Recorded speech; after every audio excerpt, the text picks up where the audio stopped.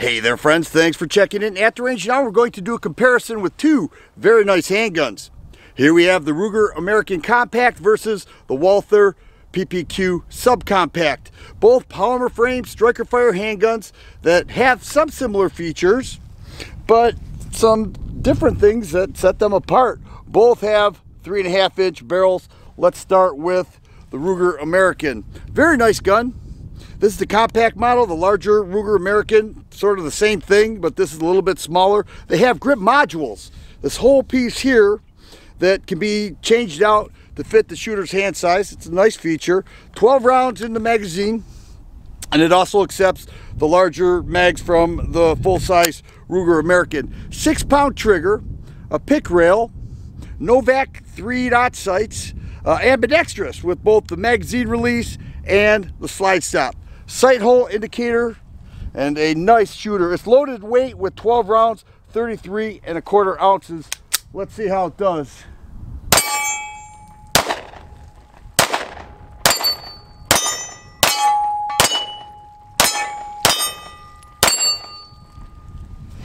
And there we go. I've always held this gun in high regard. I really do like it, and I've always liked the American. I said from the onset when Ruger came out with the American that that was their best semi-auto handgun to date. But here we have the PPQ subcompact. Now, the full-size PPQ is an amazing gun. There's no disputing that. This is, like the American, the same thing, just a little bit smaller. It's got a short grip here. It also accepts the larger PPQ mags. It has a sweet five and a half pound trigger, also a pic rail, front serrations, three dot sights, sight hole indicator, and this is also ambidextrous with the slide stop. Nice handgun all in all, and I have always enjoyed this one too. That's what makes this uh, competition or this comparison so close.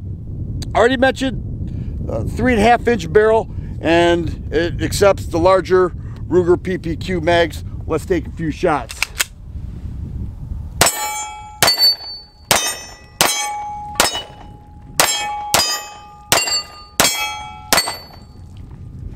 All right.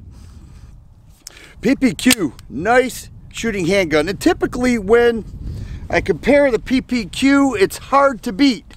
It really is hard to beat. So these are two good handguns. They're very nice. What I'm wondering is, which one do you prefer the most? Well, let me give you my opinion. Um, I was waiting to shoot these side by side. I actually shot the PPQ better in this comparison, but there have been other times I shot the American Compact better. So I can't base my opinion on what you just saw.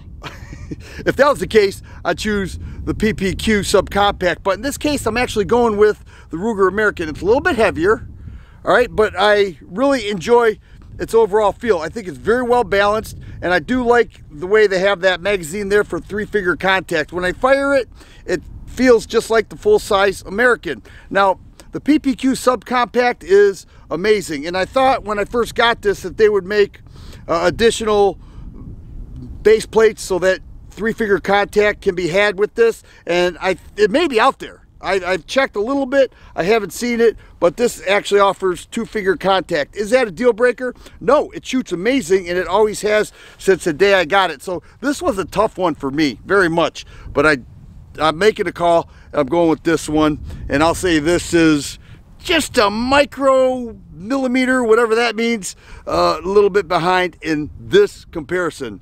I want to know what you think. If you like videos like this, please subscribe and share.